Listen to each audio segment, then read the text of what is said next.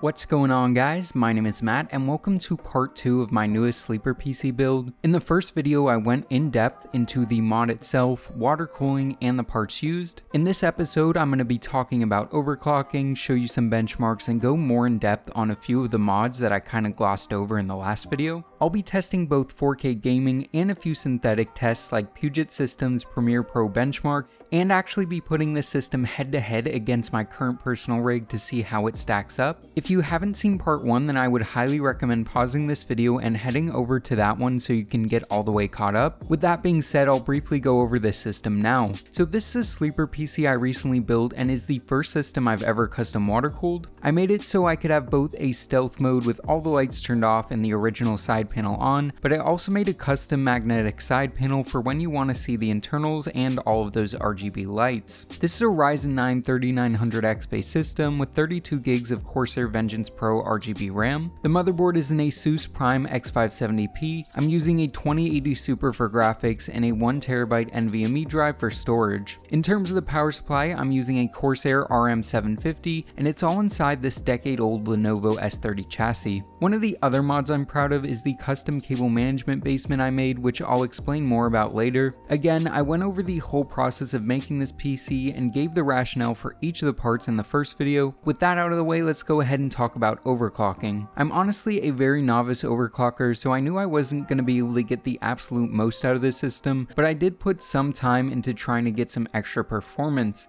For the CPU, I just decided to only enable Precision Boost Overdrive and Auto OC. This gets you like 95% of what you can possibly get out of the CPU. This basically allows the system to dynamically overclock the CPU based on stuff like power limits and temps. I saw it boost up to 4.2 GHz across all cores under a full load, and boost up to 4.3 GHz under a gaming load. For the GPU, I manually overclocked it using MSI Afterburner. The settings I landed on were a core voltage of 25%, a power limit of 112%, which was maxed out, a core clock of plus 120 MHz, and a memory clock of plus 500 MHz. I probably could have got more out of it, but even with the simple GPU overclock, I saw a 7.5% increase in performance in Shadow of the Tomb Raider. In terms of temps, with both the CPU and GPU under full load for an extended period of time, the CPU maxed out in the upper 70s and the GPU maxed out in the upper 50s. For only running on a single 360mm radiator, these results are decent in my opinion. Under a more normal gaming load, I saw the CPU stay in the upper 50s and the GPU stay in the mid to upper 40s most of the time. Speaking of temps, to cool the system I used a fully custom loop comprised of Corsair Hydro X parts with hardline tubing. I'll have a link to all these products and parts in the description if you want to check them out, and for a more in-depth look at each of these water cooling components you can refer back to part 1. For benchmarking, I use gaming and synthetic benchmarks. Let's go ahead and start with the gaming benchmarks. This is my first time testing a system at 4K, so I wasn't entirely sure what to expect. I just went with 4 games that had built-in benchmarks so I could keep things very repeatable. Let's start out with Shadow of the Tomb Raider at 4K max settings.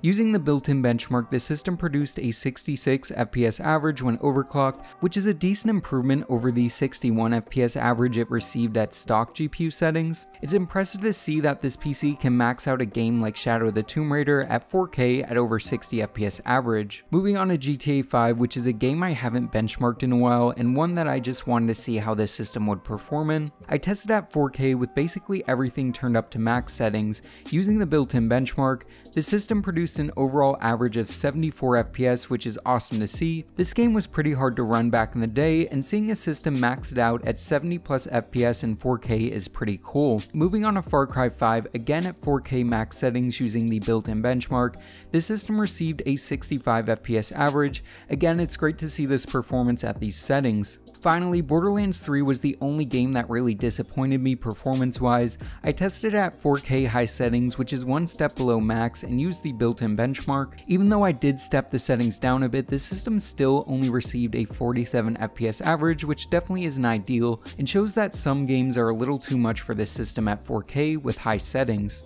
Overall, gaming performance is great. I personally don't game at 4K and would much rather use the system at 1440p 144Hz instead of 4K 60, which is definitely doable if you turn a few settings down and don't play at absolute max. I did three more synthetic benchmarks which include Cinebench, 3D Mark Time Spy, and Puget Systems Premiere Pro benchmark. For these I wanted to compare them head to head with my personal rig as this sleeper PC may be replacing it. Currently I have a Ryzen 7 2700, 32GB of 3200MHz RAM, and a GTX 1070 Ti. The system works well, but I was interested to see how it stacks up to the Sleeper PC. Starting off with Cinebench, which is a purely CPU dependent test, the Sleeper PC received a score of 7107, and my personal rig received a score of 4044. As you can see, this is a big step up performance wise, but keep in mind this is going from an 8 core CPU to a 12 core CPU. With that being said, there is a 75% performance increase with only a 50% increase in cores. For 3D Mark Time Spy, which is meant to test gaming performance, this sleeper PC received a score of 12,299. This is a big jump up from the 6933 my personal rig got. Finally, I tested Puget Systems Premiere Pro benchmark. This tests how well a system will perform in Premiere Pro. If you like this benchmark and like to see it in the future, let me know in the comments section below. This sleeper PC received an overall score of 873. This is compared to my personal rig score of 542. This is a 61% increase in performance,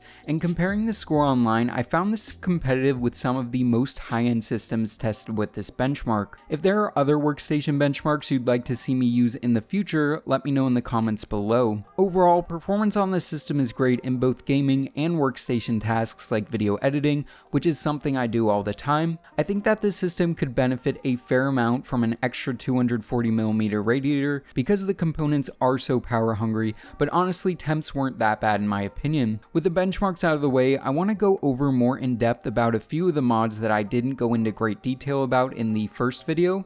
These are the side panel window and the cable management basement. Let's start by talking about the side panel. This is a method that anyone can do to make their PC that has a solid side panel have a window, and it's relatively cheap, easy to do, and doesn't require a bunch of tools. There's also no modifications needed to be made to the case because it just attaches with magnets. One side note is this won't work on aluminum cases because the magnets won't stick but most cases are made of steel anyway. For this panel, I needed a thin sheet of clear acrylic, some magnet tape, and something to make a border. Some people use paint, I used vinyl. Basically, I laid out my sheet of acrylic and measured out the two cuts I'd need to make the perfect side panel. The best method I found is to score and snap it. They make specific scoring tools which make the process a lot easier, but I used a regular box cutter with a few razor blades which did take a little while but worked fine. I used a straight edge and held it in place with a few clamps and then ran the blade over this line a few dozen times. Clamping this in place made it easy to make a repeatable line,